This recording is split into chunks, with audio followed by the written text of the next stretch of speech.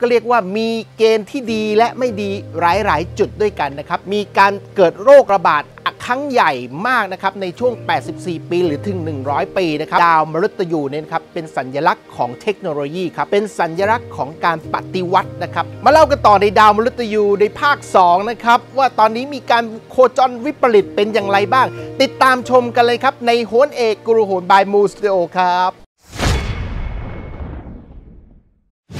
สวัสดีครับโหนเอกกุรุโหนครับบายมูสตูดิโอนะครับวันนี้นะครับจะมาคุยกันต่อนะครับจากคลิปที่แล้วที่พูดถึงดาวมฤตยูนะครับที่กำลังจะยกย้ายในวันที่ 7 กรกฎาคม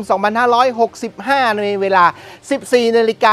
27 นาทีนะครับแล้วจะยกย้ายไปอยู่ในราศีพฤษภแปลว่ากำลังจะย้ายออกจากดวงเมืองจากการกลุ่มลัคนาดวงเมืองนั่นเองนะครับมีผลอย่างไรบ้างนะครับก็เรียกว่ามีเกณฑ์ที่ดีและไม่ดีหลาย ๆ จุดด้วยกันนะครับ เดี๋ยวผมจะสาธยายให้ท่านผู้ชมแฟนเพจ FC ของหวนเอกฟังกันดูนะครับในประการที่ 1 เลยนะครับ เนื่องจากดาวดวงนี้ยกย้ายนะครับจากการที่กลุ่มลัคนาดวงเมืองเป็นระยะเวลาถึง 7 ปีมาแล้วนะครับ ก็จะมีการยกย้ายออกไปนะครับ ซึ่ง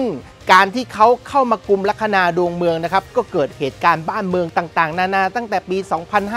2559 นะครับจนถึง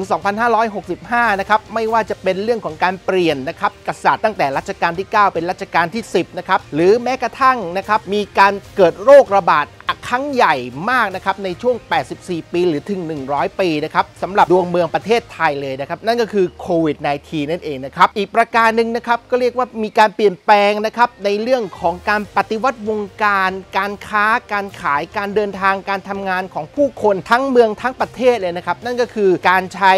ออนไลน์และการซื้อขายของในออนไลน์มากขึ้น เนื่องจากดาวมฤตยูเนี่ยครับเป็นสัญลักษณ์ของเทคโนโลยีครับเป็นสัญลักษณ์ของการปฏิวัตินะครับทุกครั้งที่มากุมลัคนาดวงเมืองเนี่ยจะเรียกว่ามีการเปลี่ยนแปลง จะมีการล่มสลายมีการเกิดขึ้นใหม่ อย่างแปลกประหลาดมากเลยนะครับซึ่งเหล่าทางโหนก็ได้บันทึกกันไว้หลายร้อยปีมาแล้วนะครับคราวนี้นะครับผมจะอธิบายให้ฟังว่าเมื่อดาวดวงนี้กำลังจะย้ายไป 7 กรกฎาเนี่ยนะครับก็เรียกว่าทำให้ดวงเมืองมีการเปลี่ยนแปลงไปในเกณฑ์ที่ดีขึ้นนะครับเกณฑ์ที่ดีขึ้นอย่างไรครับ ก็คือดวงเมืองเนี่ยเรียกว่าดาวมฤตยูตัวนี้เนี่ยกำลังจะย้ายไปในภพที่เป็นเรื่องของภพการเงิน การเงินของดวงเมืองนั่นเองนะครับแปลว่านะครับสทางเลยนะครับทางที่ดีก็คือ อะไรที่เกี่ยวกับเทคโนโลยีนะครับความล้ำสมัยความก้าวหน้า อะไรที่เป็นธุรกิจที่เราคาดไม่ถึงจะเกิดขึ้นมาอย่างมากมายเป็นดอกเห็ดเลยนะครับ ในช่วง 7 ปีก็คือตั้งแต่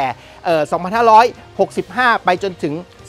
2572 นั่นเองนะครับ แต่คราวนี้นะครับในความโชคร้ายนะครับก็คือดาวดวงนี้อาจจะมีเกณฑ์นะครับเขาเรียกว่าทำให้ท้องพระคลังเมืองหลวงของเรานะครับในประเทศไทย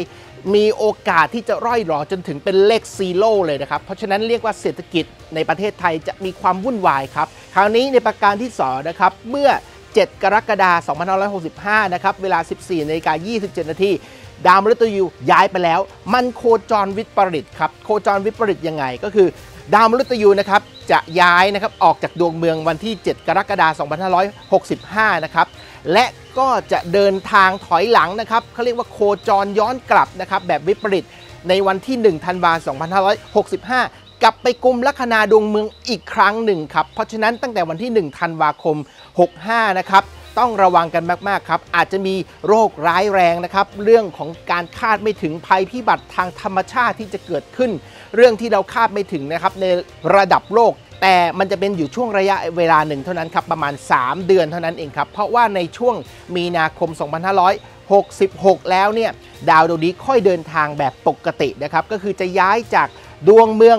ออกไปแล้วนะครับ และจะไปอยู่ที่พบกระดุมพระหรือพบศูนย์พาของดวงเมืองนั่นเองนะครับ และยาวไปถึง 7 ปีข้างหน้านั่นเองครับ ถ้าเกิดว่าใครทำอะไรเกี่ยวกับเรื่องของออนไลน์ สิ่งล้ำสมัย สิ่งใหม่ ๆ เทคโนโลยีนะครับ อะไรที่เกี่ยวกับเรื่องของเทคโนโลยี และการปฏิวัติวงการอุตสาหกรรมทั้งหลายทุกทั้งทุกอย่างเลยนะครับ ก็จะมีการเปลี่ยนแปลงไปในทางที่ดีขึ้นมาก ๆ เลยนะครับ พบกับคลิปดีๆอย่างนี้นะครับ ในทุกๆ ครั้งกับมูสตูดิโอบายโหนเอกกูรูโหนนะครับ และอย่าลืมกดติดตามนะครับ กดไลค์กดแชร์เพื่อเป็นกำลังใจนะครับ แล้วคุณจะได้รับชมคลิปดีๆ อย่างนี้อีกไม่หยุดเลยนะครับ พบกับผมใหม่ครับ ในมูสตูดิโอบายโหนเอกกูรูโหนครับ